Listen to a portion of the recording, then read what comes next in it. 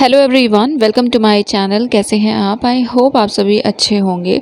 सो so, आज के इस वीडियो में हम बात करेंगे आईआईटी भुवनेश्वर की Indian Institute of Technology Bhubaneswar.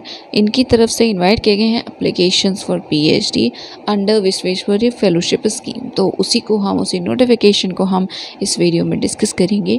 तो सबसे पहले आप इनके ऑफिशियल वेबसाइट पर विज़िट करेंगे जो कि है आई स्क्रॉल करने के बाद यहाँ पर आप एक ऑप्शन देख पाएँगे न्यूज़ एंड अपडेट्स में। Second option application for admission to the PhD program under Visvesvaraya PhD fellowship scheme for electronics and IT phase two तो इसी ऑप्शन पर क्लिक करना है। डेडिकेटेड पोर्टल ओपन होगा। इसका लिंक आपको डिस्क्रिप्शन में मिल जाएगा। सो so, यहाँ पे आप देख सकते हैं। इसमें स्पेसिफिक एरियाज़ हैं। ये वाले इन्हीं के लिए आप अप्लाई कर सकते हैं। क्राइटेरिया वगैरह पढ़ लीजिएगा, अगर एलिजिबल है तो अप्लाई कर दीजिएगा। एक बार फॉर्म सबमिट होने के बाद ना अल्टर होगा, ना रिसबमिट आप कर सकते हैं। तो just one time you can apply right and आप वापस से अप्लाई नहीं कर सकते। Because what actually what usually happens फिर से अप्लाई करेंगे तो लेटेस्ट वाला काउंट होगा, ऐसा होता है बट यहाँ पर नहीं है। Last date is fifth of October okay यहाँ पे क्लिक है पे क्लिक करके you can register log in करने के लिए। सेकेंड ऑप्शन है, आप एक सैंपल फॉर्म को भी चेक कर सकते हैं। अलग अलग ऑप्शंस हैं, आप इन्हें देख सकते हैं या डायरेक्टली स्क्रॉल करके देख सकते हैं। सो ये थ्रस्ट एरियाज़ हैं, ठीक है, जो अवेलेबल हैं। क्राइटेरिया की बात करिए तो देखिए एम टेक या एम ई e होना चाहिए ऐसी equivalent degree sixty percent minimum marks या सिक्स पॉइंट फाइव के साथ साथ में गेट होना चाहिए। या फिर बी बी टेक या इक्वलेंट डिग्री है सेवेंटी परसेंट मार्क्स या सेवन पॉइंट फाइव सी के साथ साथ में गेट है तो आप एलिजिबल हैं। And minimum sixty percent marks जो है, बाकी सारे क्लासेस में रिक्वायर्ड है। यस ये रूल होता है आई आई टी भुवनेश्वर में। दैट बाकी जो class ten twelve U G P G ऐसा होता है तो सारे में आपके सिक्सटी परसेंट मार्क्स या six point five C G P A हो।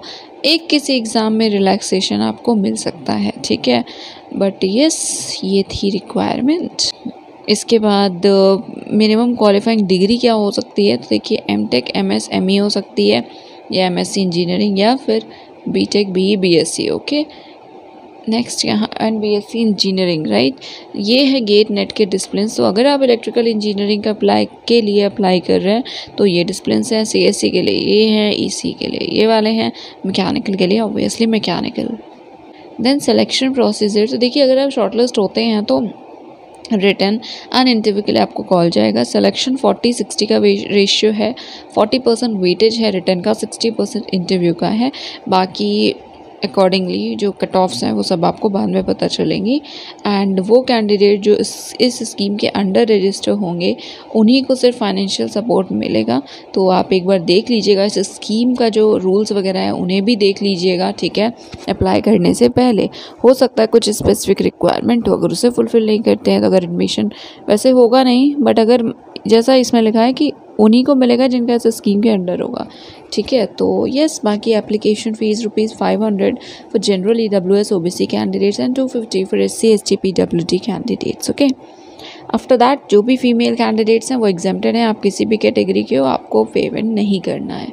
ओके आफ्टर दैट यहाँ पे आप देख सकते हैं एप्लीकेशन प्रोसीजर इस पर क्लिक करेंगे।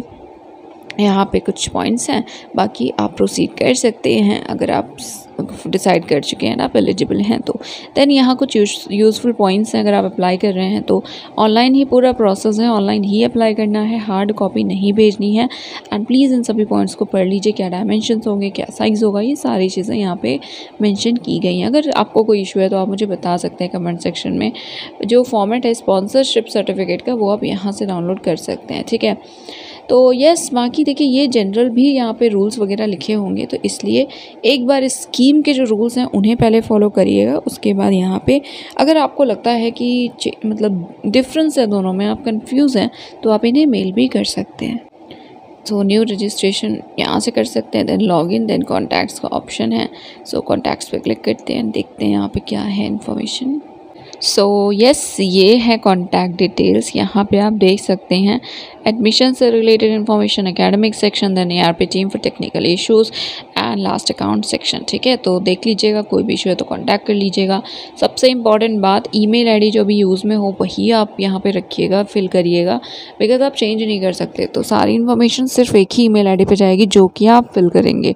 तो अगर वो लॉस हो जाता है एज इन की पासवर्ड नहीं याद है या कुछ भी हो जाता है तो उस केस में आपको इन्फॉर्मेशन कोई नहीं मिल पाएगी। तो प्लीज़ ईमेल आईडी जो भी वर्किंग है, उसी को डालेगा and I think yes that is it for today ये था आई भुवनेश्वर से related update I hope video helpful लगा होगा। प्लीज़ इसे शेयर कर दीजिएगा। चैनल को सब्सक्राइब कर लीजिएगा। And yes thank you so much for watching this video